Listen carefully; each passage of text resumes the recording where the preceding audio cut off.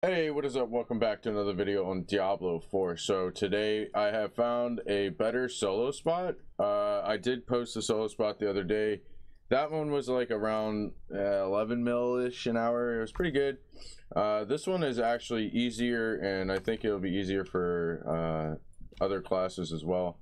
So we are in the northwest part of the map. Uh, here is the waypoint.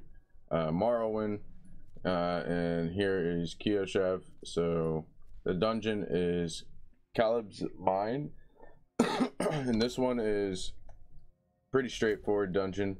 Uh, I'm in the boss room right now. You don't have to kill the boss, but the last elite packs are right here. So, I mean, you might as well kill the boss if you have the damage. I don't really have too much damage. Uh, I'm just focused on making, uh, you know, like uh, better, better gear for my alt. And my alt is getting there. He's he's okay. He's he's getting up there. So let's just get right into it. So obviously you spawn in here. You're gonna come up here. You got to get a key to open a door here. So go ahead and just uh, kill the elites around here. There's some more elites over here you can go and kill if you'd like. But I just generally run through and kill the elites. I'll show you in the full video. Um, but you just get that and then uh, you put that and you come here. Uh, you get some like uh, artifact thingy, which is in one of these ends. Uh, it's, and then you put that to open a bridge. And then once you open the bridge, you come up here and then you just kill all the elites on the way. And then it's your choice if you want to kill the last boss or not. So, uh, yeah, that's it. And this is a, I'm getting anywhere from like 800 to 900,000 XP about every four minutes or so.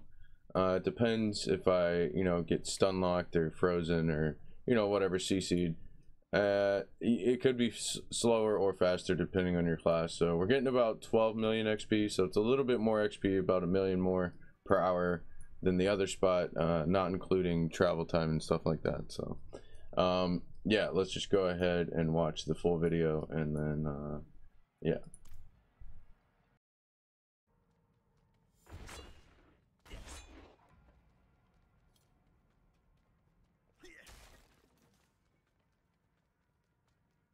Time.